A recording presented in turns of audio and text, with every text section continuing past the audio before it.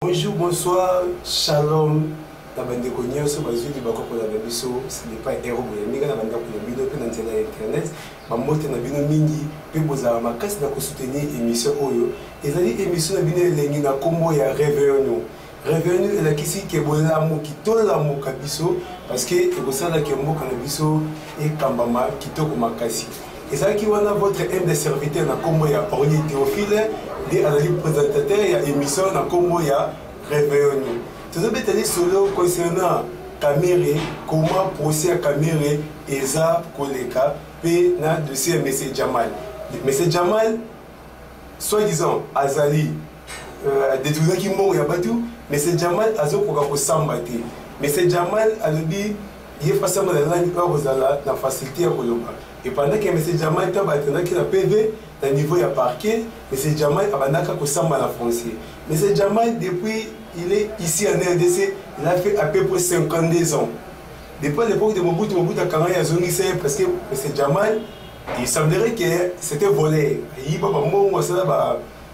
ba mafia ebele Elena Mese Jamal azonga lorsque Mobutu akendaki Mese Jamal aye kozonga susu encore na kati ya pays oyo mpo acontinue toujours komassacre tozali mboka na biso etikali mpe bongo te Mese Jamal akamami lisusu na Mese Vital Kamerhe oyo lelo aza na kati ya prison mais Mese Vital Kamerhe alobi nazopose bino baquestion azotuna justice azotuna tribunal motuna pourquoi na se retrouve na kati ya prison ya makala epandaki nalandi procès meme mese jamal liaison moko te eza entre ngai na mese jamal comment na se retrouve na kati ya prison ya makala bokolanda bokomona tozoparle makambo ebele ezo concerne mese vitali kamere na mese jamal pourquoi procès wana bazo koreportaka yango pourquoi procès wana ezo continue toujours kozala en marche et pendant qu'il y a des effets oyo ezali palpable bien il y a des preuves aussi bato bavivaki yango parce que bazo confirmer parce que il y a des sous-bastiments oyo ezo montrer que vital camille réellement aseki détournement mais vital camille déclare est ce qu'il y a vraiment et sous-estimant oyo ekopermettre elakisa ke vital kamere aza dedans na kati ya masolo tokolanda wana tozalaki elongo na moko ya ba résistant ya mboka oyo akose présente ye moko na kombo ne molai bokoyeba ya na pgi nakoki mpe kopesa ye mwa parole aloba mpo aza na ye biso na kati ya plateau oyo bonjour monsieur bonjour ndeko li bonjour bonjour bonjour na bana congo bonjour na bandeko nyonso oyo bayebaka kozala Sima ya combat na biso ya mboka, na combat oyo ya liberation ya mboka, mingi deja bayebi na bango ngai jinola bisa kolo kongo bayebi deja ke bakolo kongo nde banani bakolo kongo ba trésor king bakolo kongo ba biso oyo bakolo kongo ba mike babu bakolo kongo nde biso oyo osi oza kolo kongo te nayebi te soki oza na nani oza rwande oza nani te oza nani donc yango biso oyo nde babengaka biso bakolo kongo na kati ya bana kongo na kati ya bana kongo Ginolas bis, Ginolas bis. C'est comment on a Ginola bisa. Ginola bisa. Comment on a molayi ya wana. Ginola bisa bana Congo eza au juste nini? Ezali parti politique, ezali plateforme, eza vraiment nini bana Congo. Pe na kati ya Bana Congo wana but na bino eza nini pe vision na bino eza nini na kati ya combat oyo boza nango natikoli mwa 3 minutes oyebisa batelespectateur bon bana congo bana congo ya liboso ezali mpenza ensemble ensemble ya baprovince nyonso kosangisaka province nyonso yango wana nde esali bana congo mpe na kati na yango wana bana kongo donc ezali mpenza monene ezali mpenza monene mpenza toyebaka na kobondela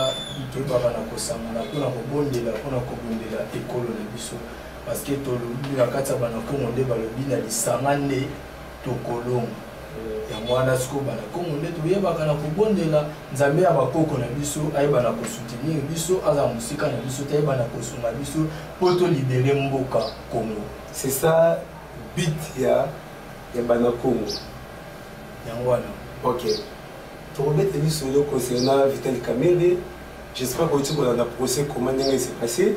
mpe tokobeta lisolo ya monsieur jamal mais na lisolo ya monsieur jamal monsieur jamal alobi naye na mboka oyo batikala kokanga nga te mpo natikala mpe koyiba te na kati ya mboka oyo mais lelo na se retrouve na kati ya prison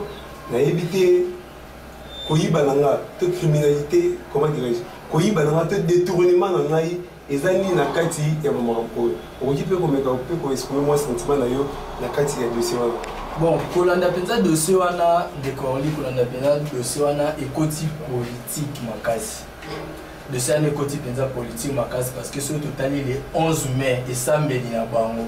ye mesi chama do ndenge asambaki na kamere ndenge asambaki totala sikoyo esambeli na bango ya le 11 mai totala esdor totala le 25 mai na bango nde baye osamba toyei kosantir mpenza mwa assurance moko boye ekoti mais jusque là monsieur jamal aza kotatone parce que ya des questions bazo pose ye aza kose contredire même na baréponse na ye moko te aza koetatone te aza koetatone te parce que soki tomoni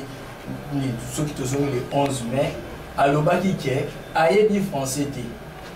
Abaki que ayebi français te, ayebi kaka soki ki arabe oyo oh, ye ayebi yango wana. Soki do, soki juge atuni ye mituna, donc azosala kaka boye, azosala kaka boye, azosala boye. Sikoyo toye komona le 25 mai. Toye komona le 25 mai, il parle français très bien. sikoyo na ekar wana ya le 11 wana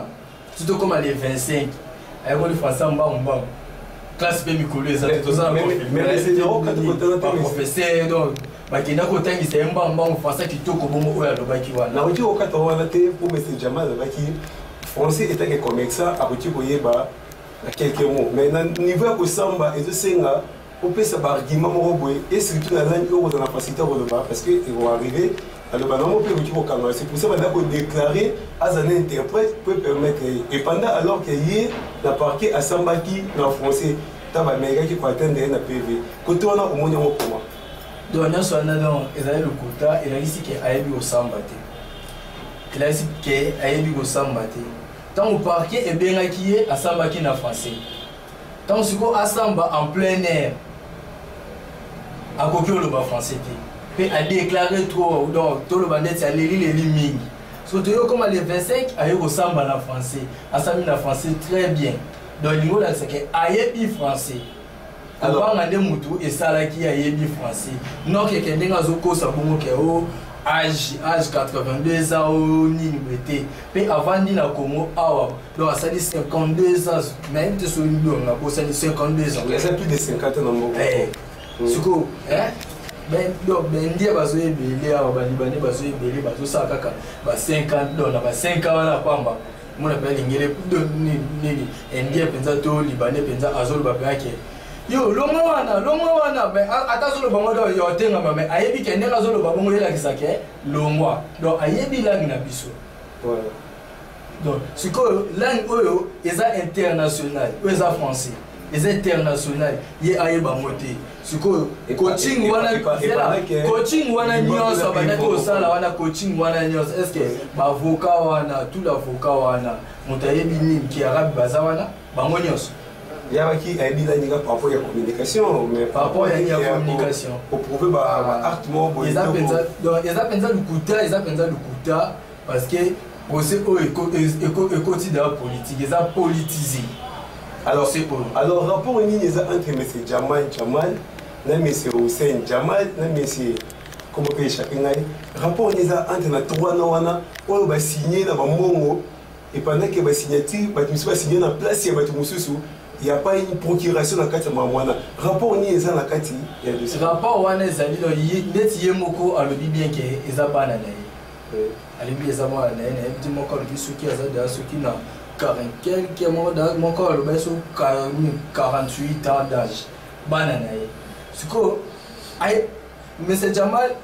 aye koloba lisusu nini aye koloba ke soki mwana na ye azwi mbongo na konti na ye oyo eza konti na ye moko econcerne bino na nini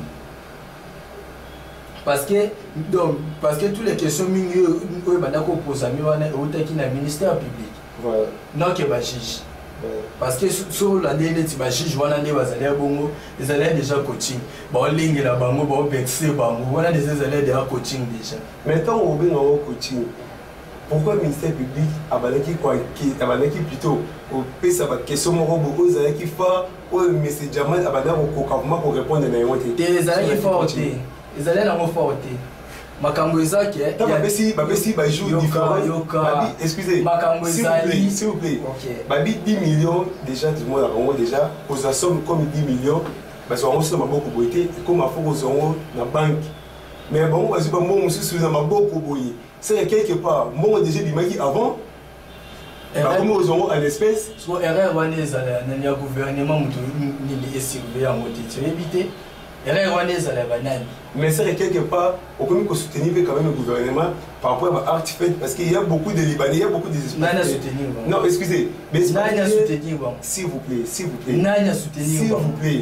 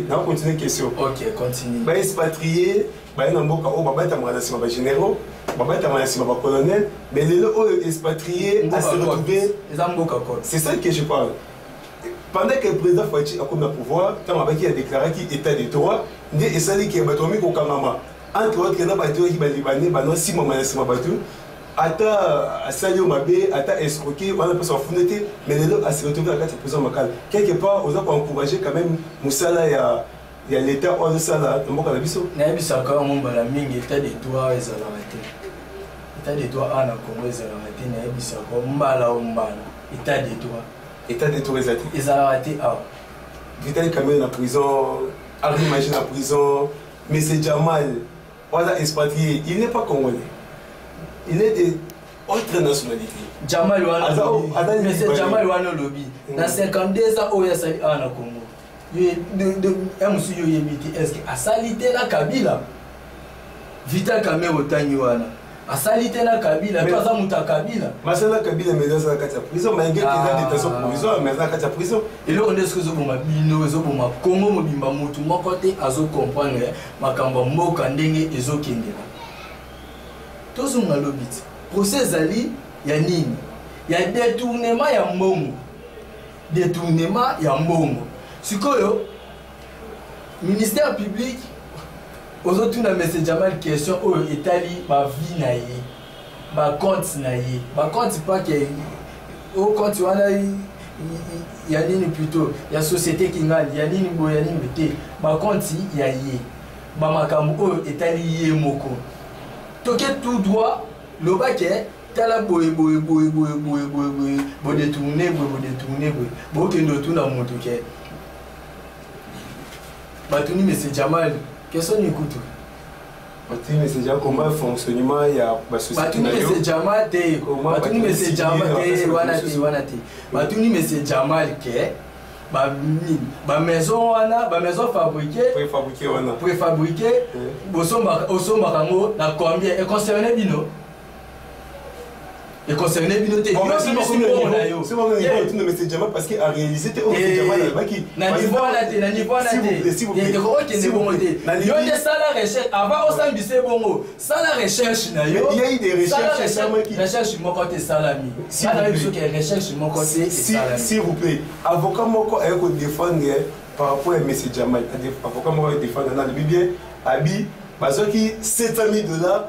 bapesaki mpo na bato basala juste fondation bazwi 600 000 dollars batindi mpo na bato baotravaille seulement na kati mese jamal na kati ya société ya construction mese jamal na kati ya marché aotravaille mo te fa travaille basociété miti ya construction bien sûr qu'il y avait des maisons préfabriquées par rapport ya commande mais mese jamal a accepté ya contrat wana epandaki eh, eh, ba maison eh, préfabriquée mm. abaki eza impossible koconstruire 1500 maison dans 100 jours epandaki ye aacceptaki yango soki ayebaki ke ezala impossible pourquoi aacceptaki yango na kati ya projet ya 100 jours wana bon monsieur jamal ndenge aza boye azalaki don ameki mwa kolanda ye moke azalaki mpenza claire parce que ndeti ngai nazokondane mingi gouvernement congolais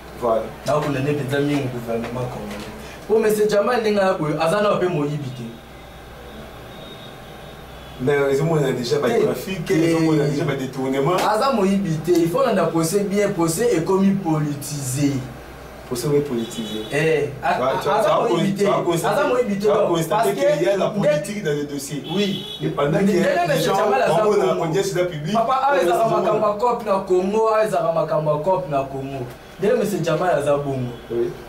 premier contrat asigne na bino bomoni ke aevole te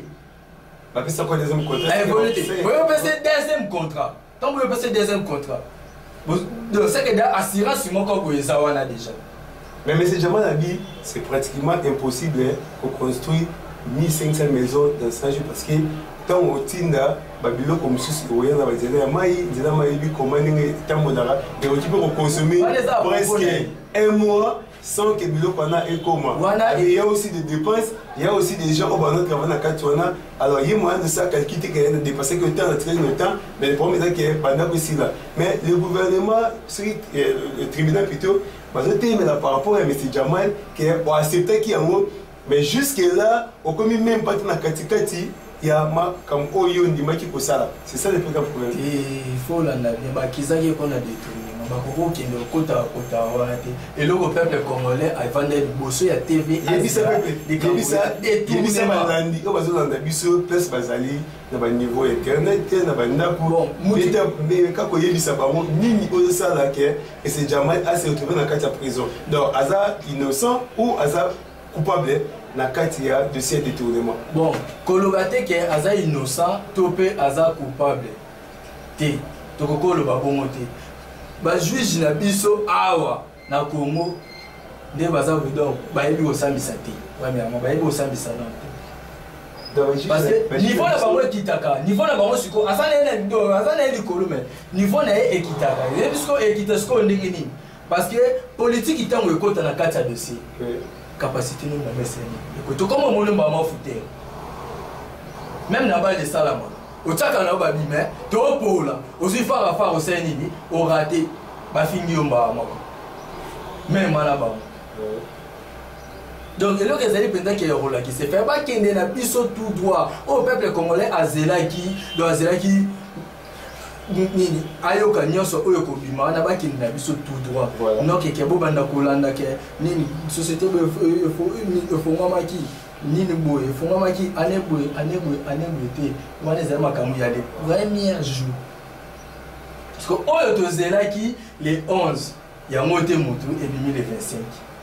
le 11 bana osatande nde asambaki bongo le 25 eh. asetrouve na kati ya prison na kati ya prison te oyo esalamaki le 11 nyonso oyo esambamaki wana oyo ebimaki wana yango te moto eye selon vérification ke donc oyo oh, nini nini nini bazalaki neuf neuf superviseur boye boye boye eyokani te eyokani te eyokani te de mese jamani ozomona donc nyonso wana na kati nyonso wana eza na kati parce que mese jamani akangami mpo na détournement vital camere akangami mpo na détournement donc il fallait okay. bajuge bazala tout droit en tout cas merci beaucoup bine bozala na biso na bi émission tobanda mpe émission ebandi lisusu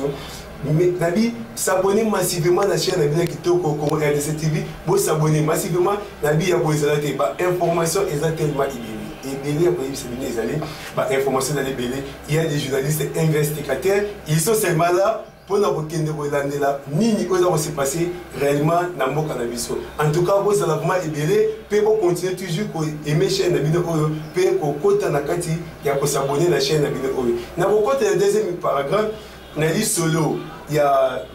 vital camere vital camere aseretrouve na kati ya prison makala apose question alobi nakoki kotuna bino mituna comment na se retrouve na kati ya prison makala pendant 40 jours et pendant que j'ai suivi procès oyo elandami ya euh, mese jamal namoni nkombo ya vital camere ete na kati ya pas un document plutôt oyo ezoprouve que vital camere adetournaki mbongo tasaki boye mais aseretourne na kati ya prison pendant kasengi pendant 40 jours asengi bapesa ye liberté provisoire à trois reprises oyo baza ko refuser yango tokokota ma yesu na vital kamere pourquoi vital kamere a se retrouver na kati boma ya prison centrale ya makala nalingi natuna motuna moko mpo na vital kamere jespère kolandi procès wana très bien olandi mwa procès ekoma ndenge esalami ndenge esili namoni mwa procès olandi yango ma très très bien sera langage ya vital kamere babi na vital kamere alobi apose question na tribunal est ce que moto azali détenu moto azali prevenu akoki kotuna question na, euh, na tribunal bon normalement akoki te akoki te aza droit moko te akopose question akoki opose question parce que alobi il a fait 40 jours il a fait 40 jours akoki ayebi te pourquoi kangami aseretrouve kuna comment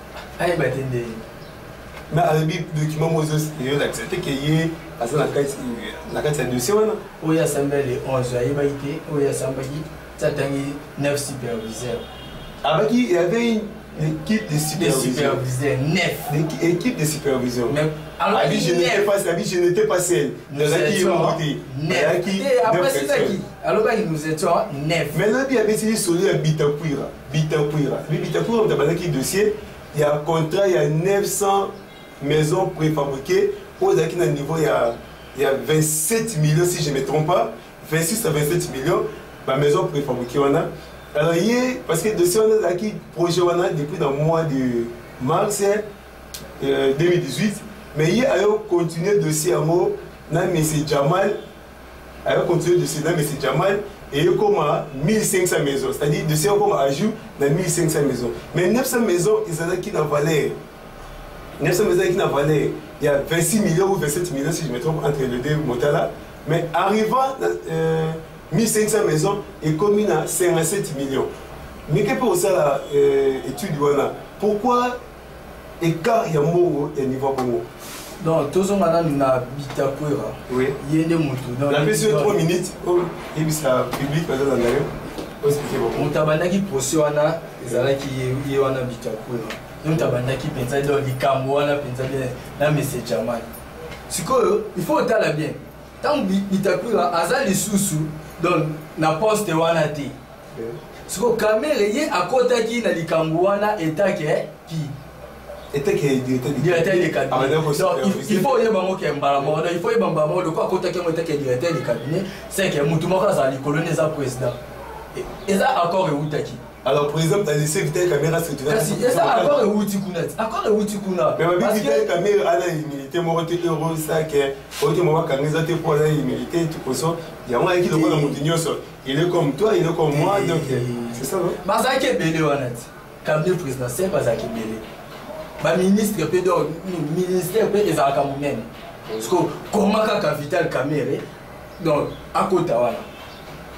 C'est que ezalaki na motindo ezalaki na moto atindaki ye to moto ayebisaki ete yo kende kende kolandela yango moto yango eza nani oyo aza likolo na ye oza likolo na ye tomona directement na ye tomona mbala moko félix tilongo tomona ye mbala moko ye nde moto atindaki elingi olakisa na kati ya procès oyo bazobomba ye parce que aza président le sait quelque part soki moto andimaki vite caméra se retrouve na kati ya prison boye epandaki ye mpe aliaki bambongo ndenge ezolobama ke nkombo na ye mpe ekozala cité na kati ya bamakambo oyo est ce que le président de la république pe accepte kotika mutu oyo akokende na signature et pendant que ye pe kombo nde ezala cite na kati ya makambo wana est ce que oza sur na makambo yango eza makambo mosusu eza makambo mosusu ezosalama awa na kati ya congo mingi bazo comprendre te mingi mpenza bazo comprendre te surtout na présidence bazo comprendre te yango moni yango moni donc likambo ya, ya baarticle na constitution ekomi kaka kobima kaka poa Pourquoi? Pourquoi? Parce que baya ko comprendre que présidence donc etangaka constitution te.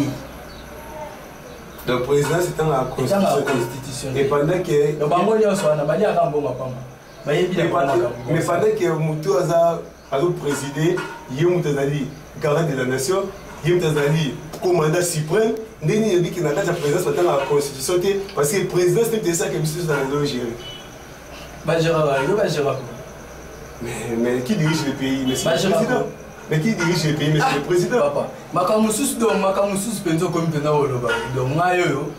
nauti na nga par exemple nauti na nga gombe nauti otambola nazongi na nga do heure moko tardif nakende nake na susiat susiat eye otikanga na ndako soki so susiat ekolinga na basoda wana soki baolinga toza gere te mais parce que toza na biso kaka boye toza na biso kaka boye yango omoni ke bazosakana na biso Congolais komona polisi okima epandaki ya polisi amomona te tokima ye polisi congolais komona polisi na nzela tokima mais epandaki ya polisi amomona te polisi na garde civil te polisi ndenge aza boye do ye polisi nde moto akomisa biso monguna parce que ezala na bamarche pacifique tosala marche pacifique mais polisi abima abeta gaz abeta masasi likolo ye mo moto moto aluki yango nani polisi moto aluki yango parce que biso na kati ya marche wana tozosala les autres te eza marche pacifique avec marche wana mpe eza mpe avec eza na bit na yango nde tozosalela yango mais polisi abeti gaz apanzi sikoyo biso na bango moto nini atumbolaka biso peut-être bosenga yango bamarche yango esalamaka ya legal te ye esalama na bandenge moko boye yango esalaki tika kosala lokola ozala awa na kinshasa te so tali oyo tozonga na posa kamere soki otali posa kamere wana tala kamere ndenge asambaki le 11 tala lelo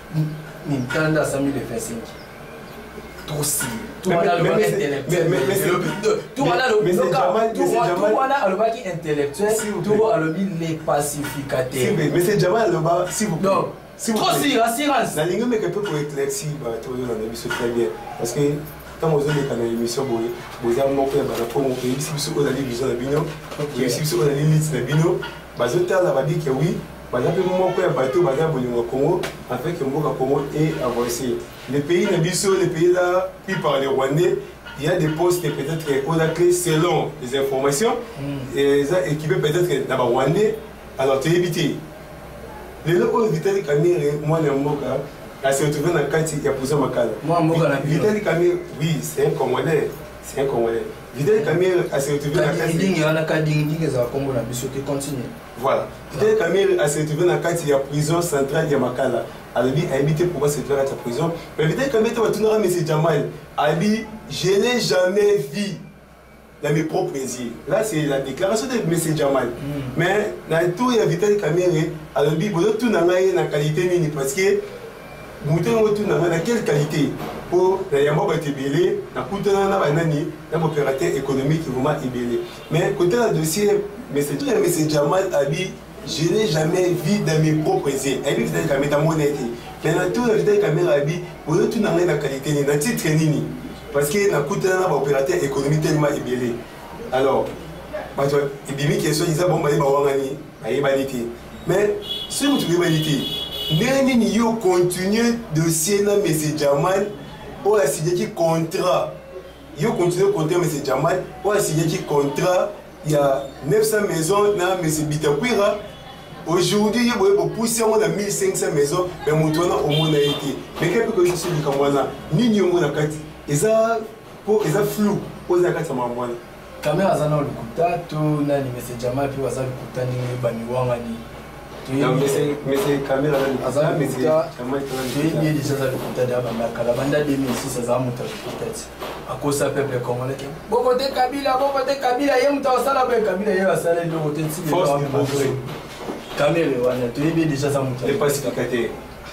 les pacificateurs bon les pacificateurs na kati ya ndako na bango na gouvernement na bango mais baplace nyonso ekendaka bato bazala toujours balongaka baplace nyonso oyo akendaka kasi parce que azalaka congolais te donc ye ndenge ayo boye aza pionte aza pion moko boye wana otie ndami wana omona mpe apion moko boye wana oyo akotaka liboso yango wana mpe ndenge esalamaka na nini na oyo nini na na genève yango wana mpe esalama na genève mpo so tobi tolandela dossier wana bien idps donc idps ekangamela na félix retire signature noke kamere félix retire signature félix félix ale retire signature na ye après kamere aseyani alandi voilà ok toi tomi kochite tomi kochite vraiment tokoki eve na fin mwa motuna moko ya suka ezali mm. euh, Selon procès ni surtout wana oyo moni comment eza ko évoluer au juger ni na kati ya procès wana euh Vital Kamerhe akozala selon yo Vital Kamerhe akozala bakokondane ye to Vital Kamerhe akozala akite Monsieur Jamani, bakokondane te Monsieur Jamani kozala kite mais kaka ko exprimer ozali sentiment na yo mwa 2 minutes etikali wana. Bon, premièrement ezali dossier wana ndenge ekendela boye. Moi ndenge ekendela boye. Le 3 lisusu dosie wana do nini nini dosie wana ezongi lisusu ebanda kaka kotambola bongo après ekomata na cour ntango emata na cour après nini makambo nyonso esia nini ekufi mpo kaka na kongo makambo etambolaka bongo makambo ezokende ka maleme maleme maleme maleme parce que oyo elekya le 11 yango te eye le 25 enquête nini esalami donc tomoni ata enquête yango te parce que ndenge ye alodoni ndenge alobaki équipe ya supervision wana efale tomona équipe ya supervision wana le 25 emonani te équipe ya supervision après botanga lisusu bato totala le 3 wana soki omona abeda su soki omona amida soki omona ata moto omona no moto te ezala kaka bango mibale donc elingi olakisaka abengisi bango mpo baya kosepresente baza koma basepe citoyen eza cop eza cop so olandeli tribunal lobi so olandeli tribunal lobi makambo elekaki donc tribunal etuna question nini oyo ewuta epa na bango question nini epose monsieur jamal oyo epose kamere oyo ewuta epa na bango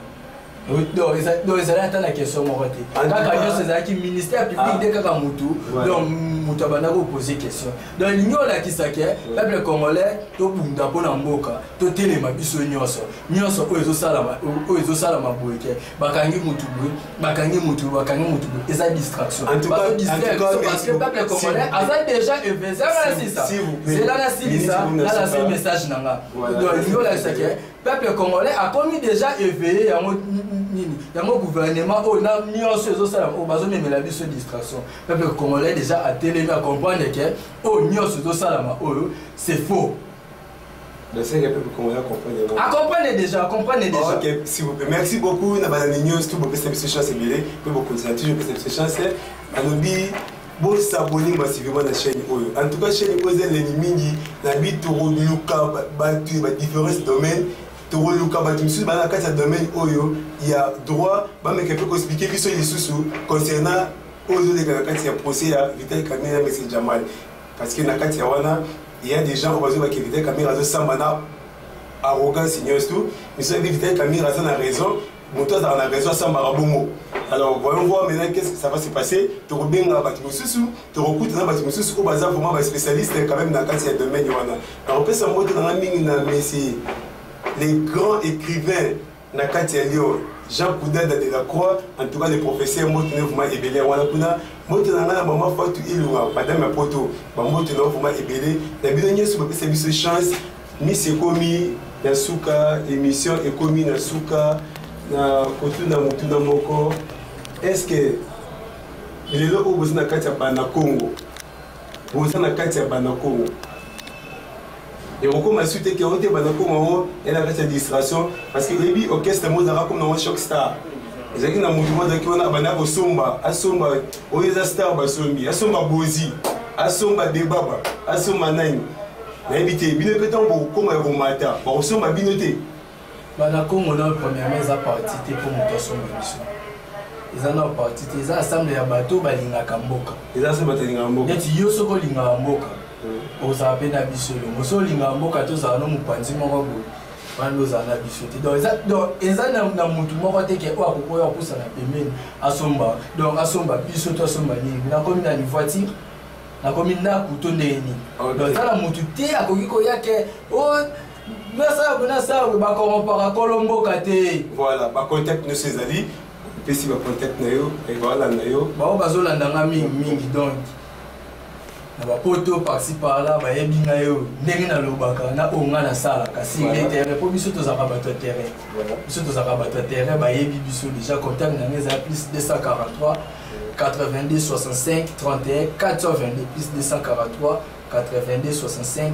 422 mama to kitoko mbote na yo na molongo ya meko eza kitoko bokontinue toujours kosuteni émission oyo kani balobaka loin des yeux près du cœur maître erandito na paris en tout cas bambote donc ma ebele euh, bambote ebele na bino nyonso boza ebele boza vraimen ebele soki natanga liste donc ekomema émission vraimen tema molai na porta bino na motema kani balobaka loin des yeux près du cœur gelor yema mobali kitoko en tout cas bambote na ebele esika azali donc euh, sans oublier aziz kalonji donc euh, bambote vraimen eza telema ebele bocontinue toujours koyeme émission oyo banimero ezali na liboso ya écran na bino wana émission na bino ya kitoko kombo nango ezali revenu parce que na kati ya émission nabaki tokobeta masolo oyo ezo lobela vraimen développement ya mboka na biso et qu'est ce que nous pouvons faire mpo mboka na biso ese rétablir bosabone masivema na chaine na bino congo rdc tv donc bobosana yango te ezalaki votre mbe serviteur na bino na nkombo ya ordi teofile nakozala toujours wana na bino mpo na kosalela oyo ezali vraimen ya bino ebele nayebi te monsieur generas mpo nazali tosuki wana eh, bambote jespère kopesa na bambote mwa de trois personnes kopesa mbote mpenza ezala mingi nani na bato moto nyonso alingaka nani congo mpe ba mama kongo nyonso bango nyonso bisika bazali ba resistant nyonso bisika bazali ba papa miakanda biansa angelique ba mama liza ba mama godi ba mama nenete bisika bazali kuna doa ya bino mpenza yango mpe mbote na trésor king bukele kolo kongo oyo azali cordo na ngai mpe mbote na maître nico oyo azali force ya résistance en tout cas merci beaucoup ba numéro za liboso wana numéro na ngai ezali plus 243 90 450